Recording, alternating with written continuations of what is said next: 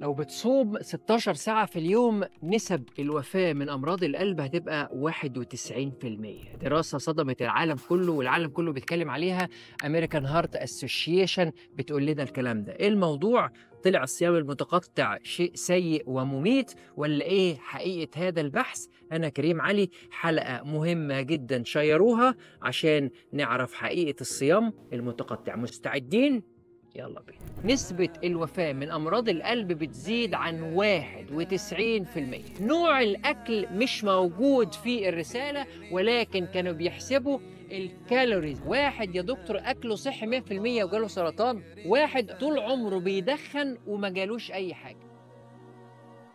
أهلا بيكم. الصيام المتقطع جزء لا يتجزأ من علاج متلازمة الأيض أو الناس اللي عاوزة تخس أو الناس اللي عايزة تقلل الدهون وحاجات كتيرة ودي حلقة الصيام المتقطع. ما تزعلوش لو مسحتها أو عملتها هيدن صحينا الصبح لقينا إن في رسالة بتقول إن الناس اللي بتصوم 16 ساعة وبتاكل 8 ساعات بس نسبة الوفاة من أمراض القلب بتزيد عن 91% طبعا اتخضينا وكنت همسح الفيديوهات وأمسح القناة وأرجع أشتغل في العادة بتاعتي وأسيب ال social media ولكن هذا ما وجدت نتيجة البحث.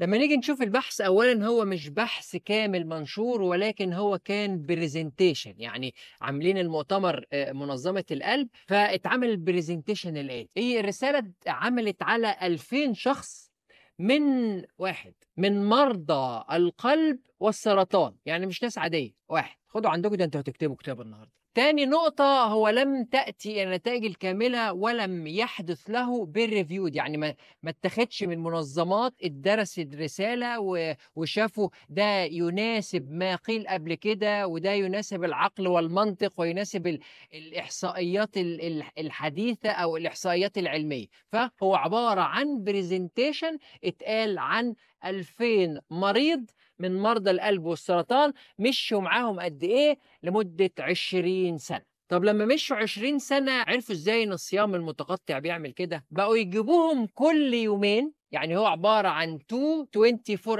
hours يعني يجيبوهم يومين في الأسبوع يقولوا لهم أنتوا نظامكم في اليومين دول إيه؟ كنتوا بتاكلوا الكميات قد إيه؟ بتلعبوا رياضة ولا لأ؟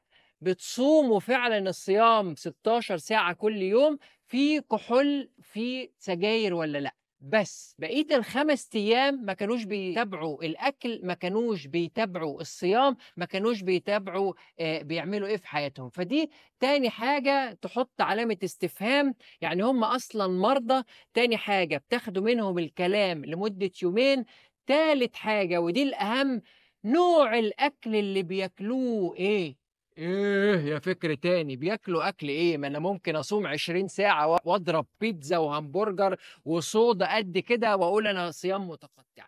نوع الأكل مش موجود في الرسالة ولكن كانوا بيحسبوا ال calories يعني خدوا 2000 سعر حراري 3000 سعر حراري 1500 ولكن 1500 سعر حراري من همبرجر مش زي 1500 سعر حراري من بروكولي وفراخ مشوية.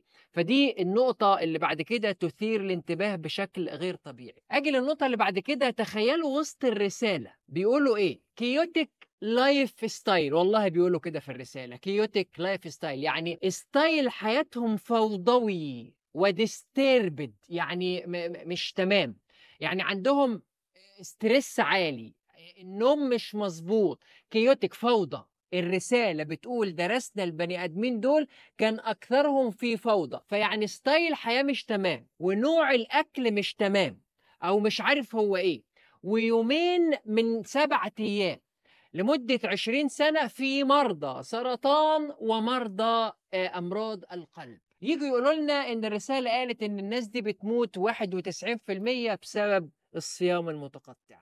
لا يوجد mechanism واحد يقول لك إن الصيام يؤدي إلى أمراض القلب ولكن في 100 mechanism وعشرات الرسائل اللي بتقول الصيام المتقطع بيقلل الكوليسترول الضار.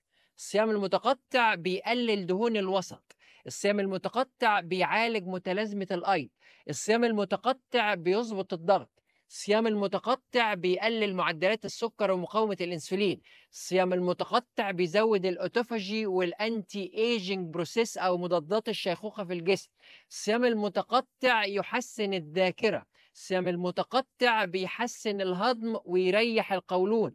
الصيام المتقطع بيقلل الأكسدة العالية في الجسم ويقلل الالتهابات. كل دي أبحاث أثبتت فوائد الصيام المتقطع. فتيجي رسالة تقلب الدنيا غلطة social media وإزاي بيطلعوا لك الخبر. إحنا قبل ما بنسمع أي حاجة بنعديه على فكر تاني. رسالة حتى لو قالت إن هم أثبتوها تنافي فكر تاني وتنافي العقل وتنافي المنطق. الصيام هو أقرب طريق للصحة. مشكلتنا إن إحنا بناكل كتير مش مشكلتنا إن إحنا بنقلل الأكل. مهم قوي الملاحظة دي. كده أنا خلصت الجزء اللي أنا عايزه بس في جزء أهم لازم نتكلم فيه. السؤال اللي بيجي في دماغ كل واحد يا دكتور الولد ده بياكل اللي هو عاوزه عمره معاه والراجل ده ماشي غذاء صحي وبيعيا طول الوقت. أو واحد يا دكتور أكله صحي 100% وجاله سرطان واحد طول عمره بيدخن وما جالوش أي حاجة. النقطة دي تعتمد على على حاجتين. أول حاجة أنت جسمك كل جسم فيه مخازن مخازن فيتامين مخازن معادن مخازن جينات مخازن هضم مخازن stress المعادلة النهائية هي اللي بتسبب المرض. يعني محدش مثلا لو شرب قهوة ضغطه يعلى من أول يوم. حد شرب سيجارتين جاله سرطان في ما فيش حاجة اسمها كده هي المعادلة اللي لازم نفهمها لازم هو style حياه عشان كده اتنرفزت جدا من البحث ده chaotic lifestyle أو style حياة فوضوي. حياة فوضوي حتى لو أنت مش مريض قلب هيجيب لك قلب. صيامك المتقطع مع الاسترس الكتير. صيامك المتقطع مع عدم النوم. صيامك المتقطع مع أكلك السيء. صيامك المتقطع مع إن أنت بتخبي مشاعر جواك أو بتحقد أو بت بتحسد أو حاسس بالظلم أو أنت هربان من واقع أو بتكتم الغضب كل ده نار شغالة جوه. هتموت مش 91% ده 90 100% هتموت يعني مش بسبب الصيام المتقطع بسبب العوامل الأخرى. فعشان كده لما أنت تحب تتكلم في الصحة ما تحكمش من الزاوية اللي أنت شايفها. ما يمكن اللي بيدخن ده أكله كويس أو نومه كويس أو جيناته في الرئة كويسة أو ما بياخدش نفس جامد أو عايش في منطقة ما فيهاش تلوث واحد تاني ما بياخدش سجاير خالص وجاله سرطان رئه يمكن المنطقة ملوثة يمكن عنده كبت مشاعر يمكن عنده بياكل مقليات كتير يمكن فيتامين د ناقص. فأنت أوعى نحكم على حد من بره أو تحكم بدم أنت تحكم على النتيجة ودي مهمة قوي فكرة الكلام ده كبير قوي حضرتك احكم على النتيجة. دام النتيجة دي وصلت يبقى ما يوصل لهذه النتيجة عنده العوامل بتاعتها. فلما يبقى عنده واحد صحة مهما تشوفه بيعمل أخطاء ولكن المحصلة فيها صحة. لو شفت واحد مرض مهما كنت اللي أنت شايفه حياته صحية محصلة اللي بيعمله الاسترس والحالة النفسية والعلاقة الروحية والدين واتصاله بربنا والصدقات في حاجات كتيرة قوي تديك النتيجة دي. فالنتيجة اللي أنت شايفها هو مستحقها تماما. هو عنده ما يؤهل هذه ظهور النتيجة. فغير البحث ده هيطلع أبحاث 100 بحث يقول لك حاجات ضد اللي بتعتقدها أو حاجات تثبت اللي أنت بتعتقده. لا تصدق اللي أنت بتعتقده ولا تكذب اللي أنت لا تعتقده ولكن عديه على مخك عديه على فكرك عديه على خبراتك أو اسمع أهل الخبرة الذي تثق فيهم. لو أنت واثق في حد اسمع له وسيبك من الناس التانيين يا إما روح اسمع الناس التانيين وسيبك من اللي أنت بتثق فيهم. الخلاصة المرض محصلة عوامل كتير زي الصحة محصلة عوامل كتير. في ناس سنيسره لليسرى وفي ناس فسنيسره للعسرى. أنت بتتيسر لإيه؟ بأسباب اللي أنت بتاخدها نفسيا وجسديا وروحيا وعقليا والإكسترا الصدقات ودعاء الوالدين و و و و.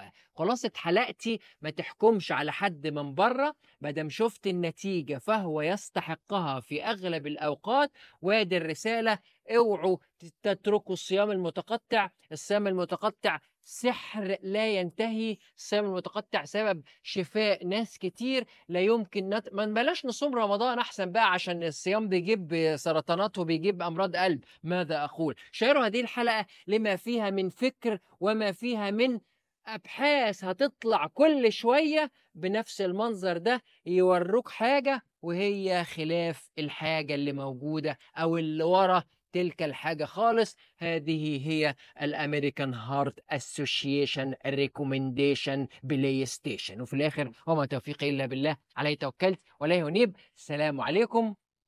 في حفظ الله.